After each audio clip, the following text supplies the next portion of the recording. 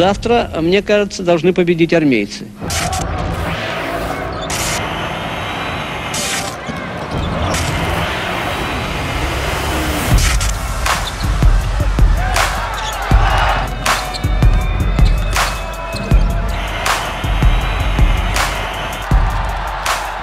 Самое ценное для меня это Джон Роберт Холден.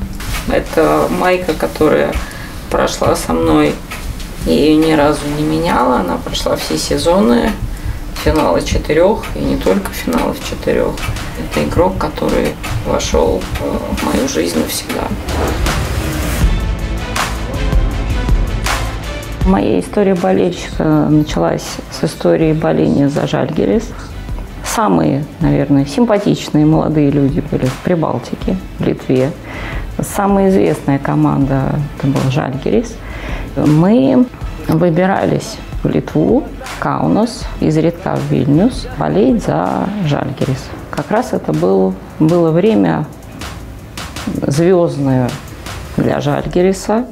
Они выигрывали чемпионат СССР. Это было время Сабониса, Куртинайтиса, Йовиши. Я когда узнал, что она болеет за, за Жальгерис, не, ну это был, конечно. Для меня это был шок, если честно, жить такой. -то. Врага домой просто. Вот. Не, ну это было. Было такое, да.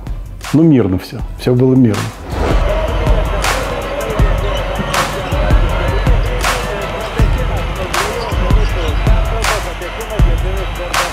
Так же, как и болели в Москве, должна сознаться, войска ЦСКА за Жальгерис.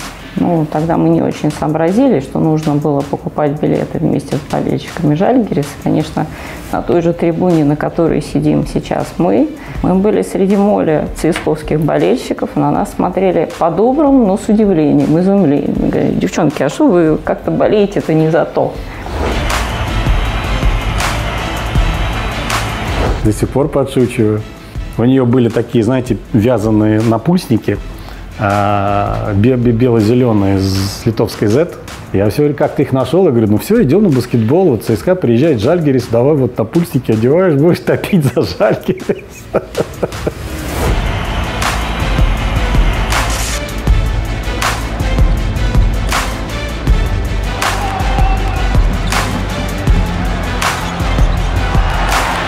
Мой поход в Европу, как смеются моя дочь и мой муж, закончилась. Я вышла замуж за болельщика ЦСКА. И вынуждена я была, конечно, поменять цвета на красно-синий. Надо сказать, вот с тех пор я об этом нисколько не жалею. И искренне люблю и болею за ЦСКА.